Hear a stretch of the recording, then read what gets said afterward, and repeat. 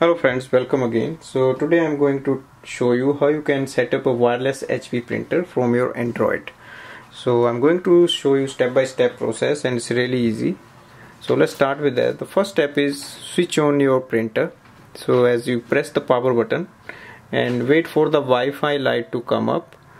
So once the Wi-Fi light is on, just go to your mobile now now go to your mobile and look for the Wi-Fi. And here you can see it says direct 3 EHP desk DeskJet so you have to find out the name of your printer. Just click on that and enter the password. And click connect. Now it says connected. Now go back now you have to go to the uh, Google Play Store and download the app that is called HP Smart. So that is here.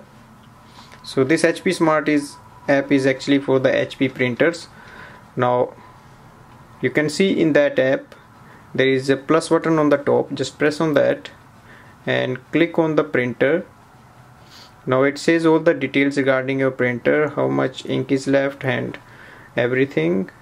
So you can directly scan and print the documents you want. So you just have to press the button and press it. So that works. So this is how you set up your any android device to print uh, with your HP all-in-one DeskJet printers who are wireless.